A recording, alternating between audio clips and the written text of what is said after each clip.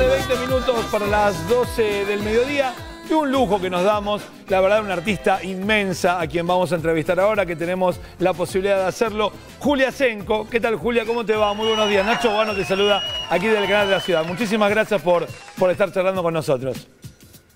Hola, Nacho. Hola a todos y a todas por ahí. Hay mucha gente conocida.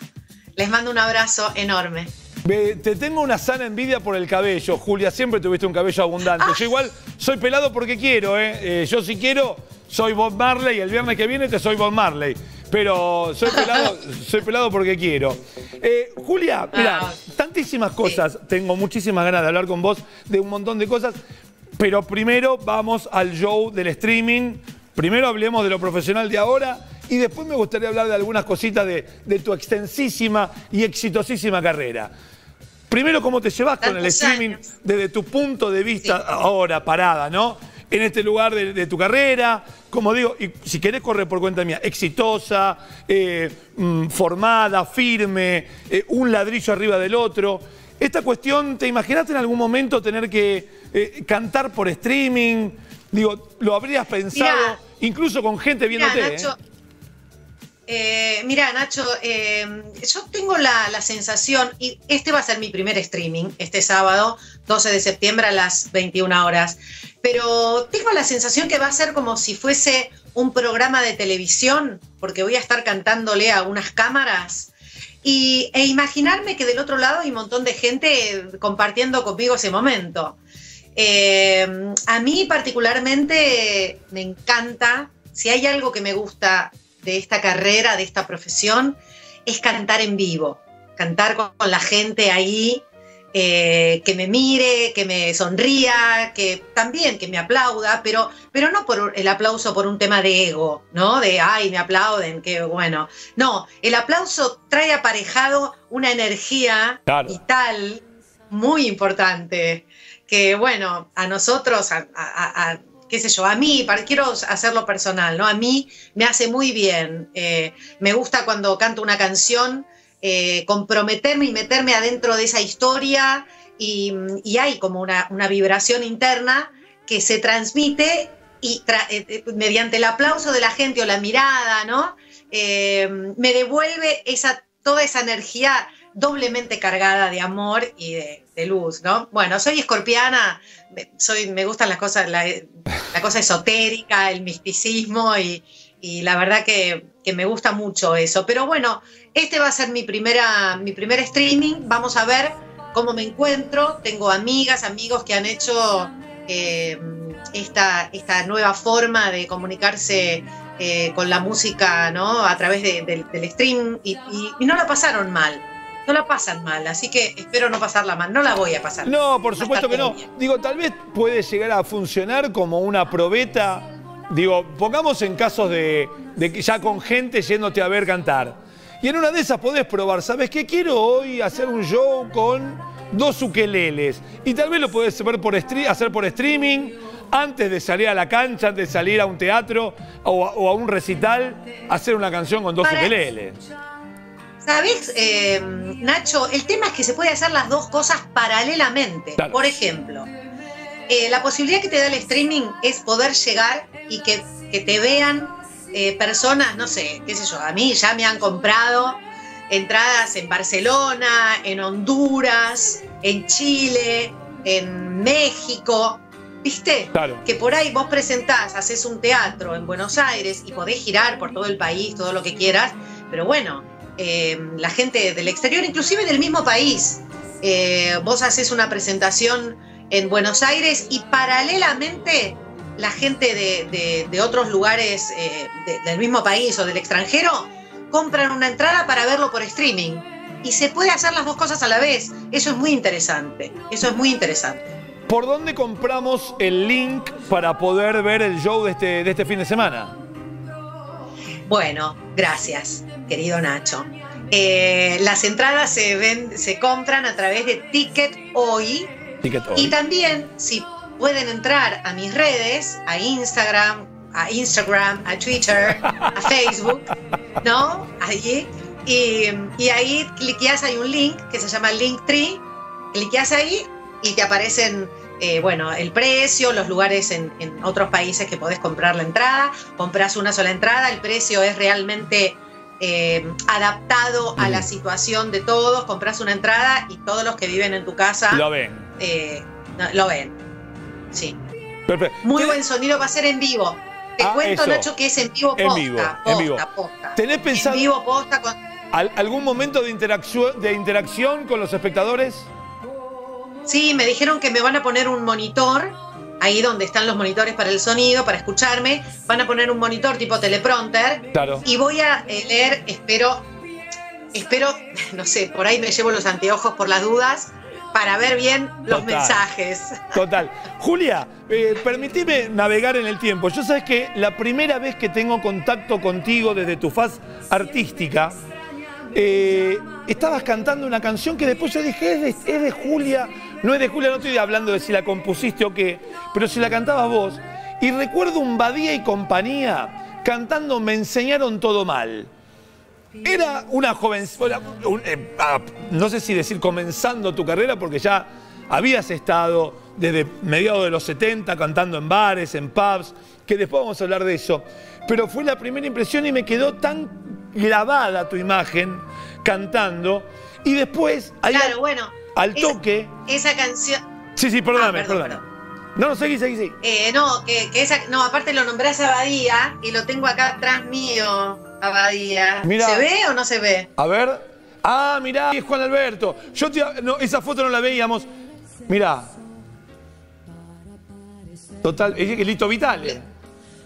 Claro, ¿Ves que cuando tenés el mismo viste que hubo una pelo? época que tocaba Lito Vitale. ¿Ves que tenés y el también tengo, mira. Tenés el mismo nombraste. pelo. Y acá con mis hijas. Mirá. ¿Se lo ve a Juan?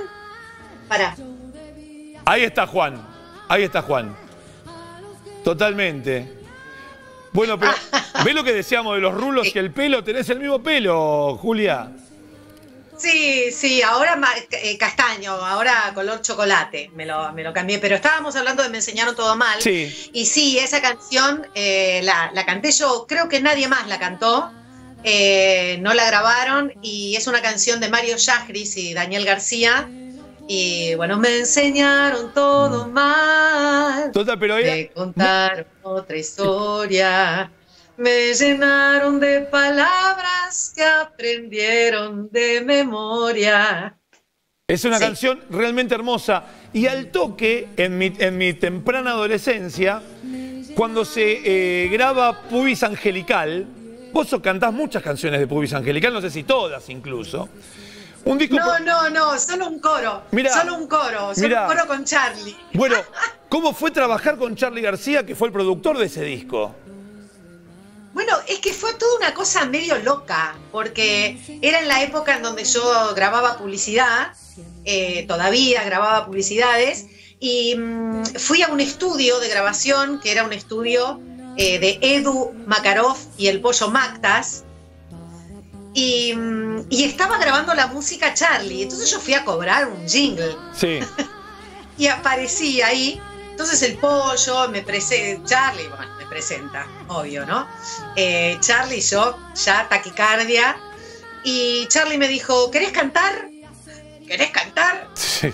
Y le dije, bueno, viste, yo medio con un chuchi, digo, ¿qué, qué me va a hacer Ah, cantar? ¿Qué? aclaramos, Ahora, ya. Julia, hacemos una aclaración. Charlie grabando yendo de la cama al living. Estamos porque Exactamente. está yendo de la cama al living y pubis angelical, que si más o menos eras entendido o si tú, el, el de la casa de discos era amigo tuyo, te decía, mirá, podés comprar los dos discos. Claro, bueno, él estaba haciendo, estaba grabando la música de la película de- Claro. en ese momento, ¿no? De Pubis Angelical. Y me dice, bueno, a ver la tonalidad, qué sé yo, y me mandó a un coro, estoy ahí atrás, viste, hay un corito eh, que, bueno, la gente que me conoce dice, ah, ahí te estoy oyendo, pero es como un fondo.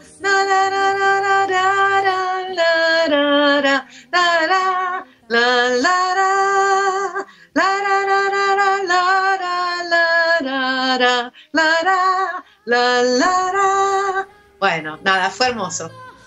Fue lindo, ¿no? Bueno, imagino, ¿no? Una, una- una época de muchísima efervescencia, ¿no? De, imagino, Julia, bueno, como vos, a ver, llegaste a cobrar un jingle y de golpe Charlie García te mete a hacer un coro de una película que fue una sensación también para el momento. Era, había una efervescencia total y absoluta. Totalmente, totalmente. Una, una hermosa época, una hermosa época. Bueno, pero, pero siempre encontramos en, en las diferentes épocas, por lo menos yo, en, en, diferentes épocas de mi vida, momentos así inolvidables, ¿no?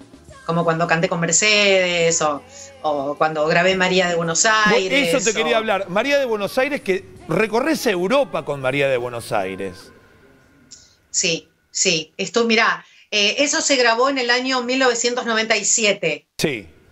Del, del 97 al 2007 fueron 10 años de viajar por toda Europa, Japón, Estados Unidos, eh, Canadá, eh, bueno, eh, recorriendo. Después ya eh, se hizo, ay, ay, ay, con el vestido de piazza, cantando Yo Soy María. Bueno, esa canción, esa milonga de presentación de María, yo tuve la, el honor, ¿no?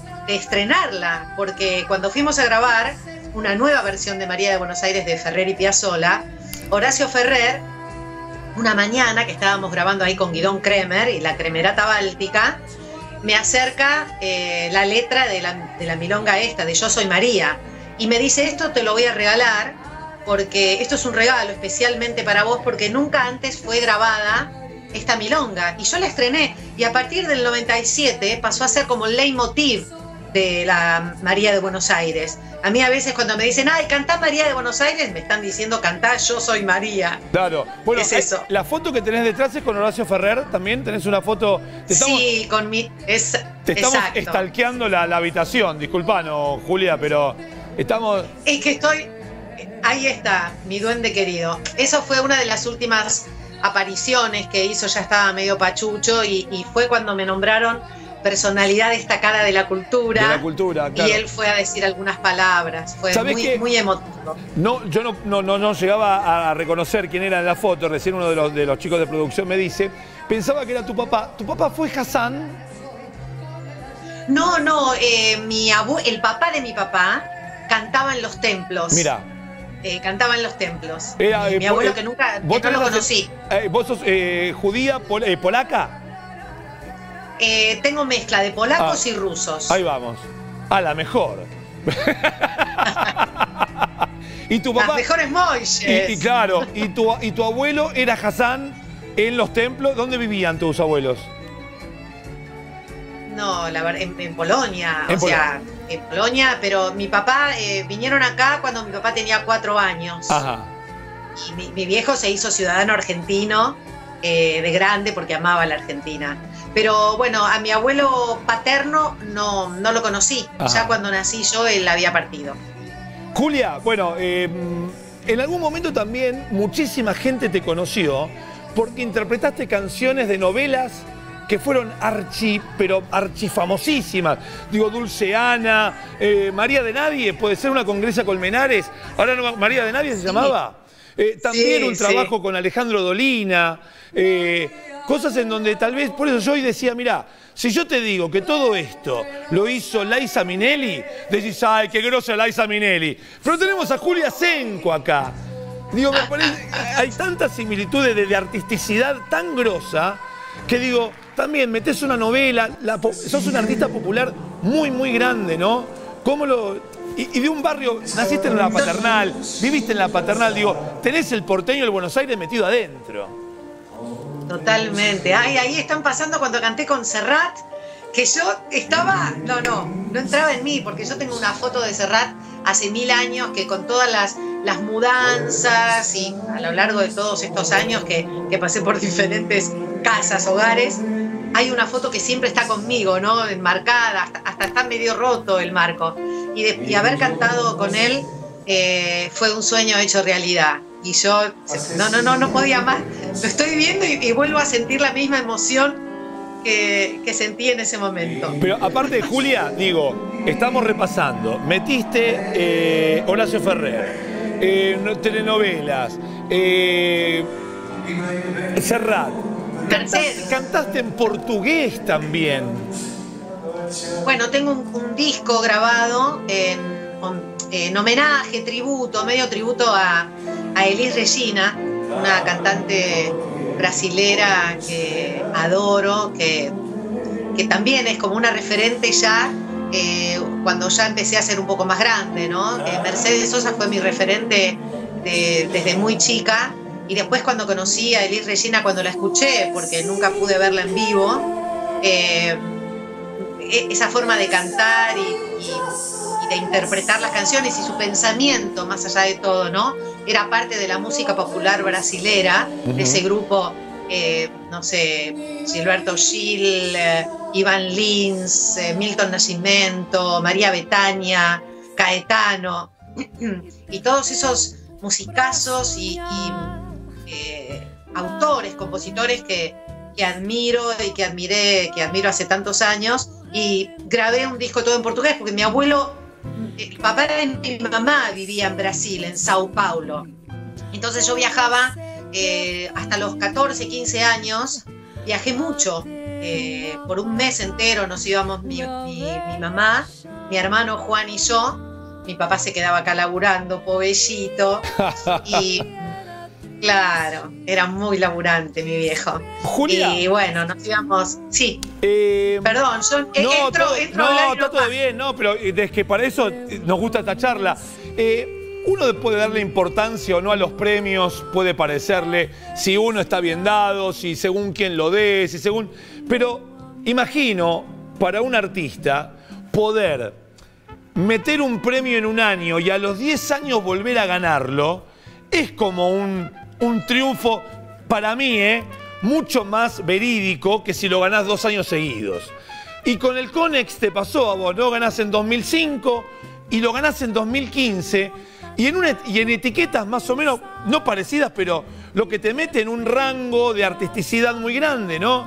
Porque en una, mejor cantante pop, y en el primero, no sé si fue cantante de tango, de balada, digo, el espectro, Julia, esto es, esto es hagamos sentir bien a los invitados, pero esta sección. Pero digo, meter a 10 años el mismo premio y te para en un lugar, ¿no?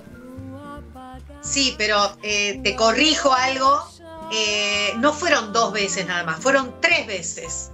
Eso significa que a lo largo de 30 años, eso te lo digo y, bueno, me tengo que agrandar un poco, ¿no? Más vale. Eh, claro, y, bueno, durante 2005, 2015 y... Mm, no, eh, o sea que hay uno antes de 2005. Bueno, no sé, tengo tres diplomas del CONEX y la verdad que, bueno, es un premio muy con mucha jerarquía, ¿no? Por supuesto que todos los premios a mí ganarlos o, estar nominada, estar nominada, como, como en esta oportunidad con este nuevo disco, Vuelvo a ser luz, estoy, está nominado el disco como mejor álbum romántico melódico, porque en esta oportunidad grabé todas canciones que hablan de amor, eh, ecléctica ella, ¿no? Y, y también está nominada una canción de Sandra Corizo y Jorge Fandermole como mejor canción del año. Y está en este disco. E, esta canción se llama Lucero. Qué loco, ¿no? Porque el disco se llama Vuelvo a ser luz y la canción nominada es Lucero. Eh, Todo tiene que ver con... Antes, de, antes de, hacerte la última pregunta, repetimos, este fin de semana, ¿a partir de qué hora, Julia, el sábado? ¿A las 9 de la noche? Mira, sábado, e-, este sábado que es 12 de septiembre, a las 21 horas, eh, en vivo, totalmente, mi primer streaming, presentando una especie de presentación virtual de este disco que salió el año pasado y no tuve la oportunidad de presentarlo en vivo. Voy a cantar todas las canciones de este nuevo de este nuevo material, digamos, del nuevo disco, más otras canciones que no van a faltar. Voy a interactuar directamente en vivo con, con el público, con la gente y las entradas se compran a través de Ticket hoy. Eh, en tu primer disco grabás Carta de un león a otro. Si bien la, la, mm, temática de la canción es clara y, está muy claro de lo que habla, e insisto, y me gustaría que lo puedas linkear con lo que era cantar en pubs en los 70, ¿sí? 77, 78, imagino que, pobre tu padre, pobre mi, mi esposa rusa también diría, pobres padres porque digo, salir, salir a cantar en un momento donde no era fácil salir a cantar en un pub, carta de un león a otro. Digo, te pregunto, ¿sería en los días de hoy, cantarías o reversionarías carta de una leona a otra? ¿Habría que rehacer la canción? Nacho. Eh, sí, no sé, eh, representa, bueno, yo, yo eh, digamos que, estoy con, el tema de la, del cambio, la inclusión, los cambios de la forma de hablar, ¿no? Todas, todos y todes. me, me, cuesta un poquito implementarlo todo el tiempo, pero, pero lo acepto, lo acepto, lo comparto. Y, pero bueno, habría que preguntarle a, Chico Novarro, ¿no? que es el compositor de la, de la Carta de un León a otro. Eh, pero podría ser Carta de una Leona, no sé, no, ahí hay un problema con la rima. No, sí, la rima no habría, habría que como que rehacerla, pero digo el concepto, ¿no? Porque decir, bueno, Carta de un León a otro, cantado por una mujer, pero digo, bueno, era una cuestión que digo, vi repasando datos para, para poder charlar contigo esta, esta mañana.